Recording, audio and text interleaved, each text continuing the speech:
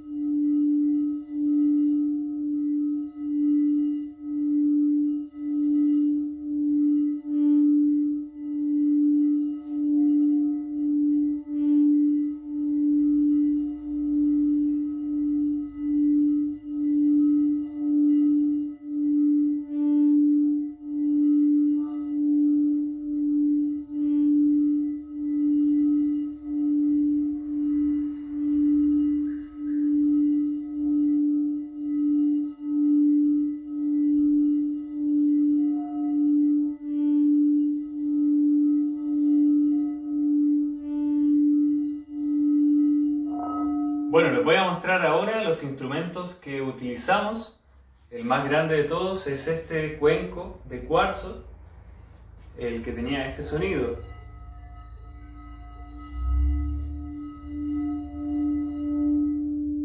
Es un sonido profundo, ya que a mayor tamaño es más grave el sonido. Este es un tamaño, eh, bueno, más pequeño, es un, es un cuenco de metal que tenía este sonido.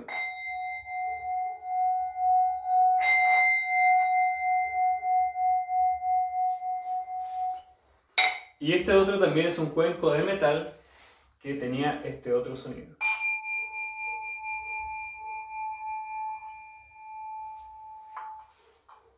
Tenemos acá los crótalos, los cuales cuando chocan suenan así.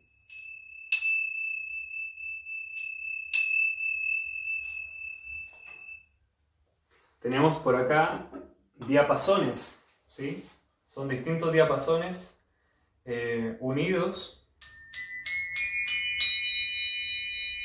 que no están en una escala tradicional, es decir, no es do, re, mi, fa, sol, la, si, do, sino que son distintas notas que no son correlativas, sino que ayudan a que la mente se despeje porque uno está acostumbrado a recibir ese tipo de notas, pero estas son notas distintas, entonces ayuda a que la mente se relaje. Bueno, estos son eh, sonajeros hechos con semillas, con cáscara de semilla. Entonces fíjense, este sonaba más agudo y este sonaba más grave. Este es el famoso palo de agua,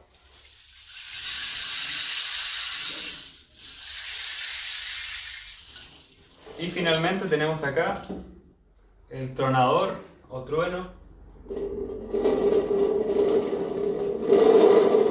Bien, para finalizar, como ya dijimos, vamos a realizar una creación artística.